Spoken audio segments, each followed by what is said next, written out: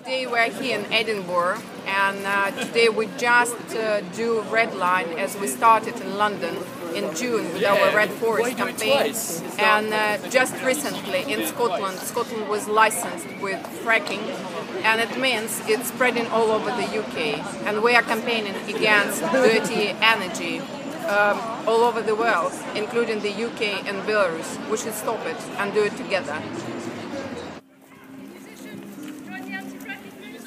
Ребята, скоро конец.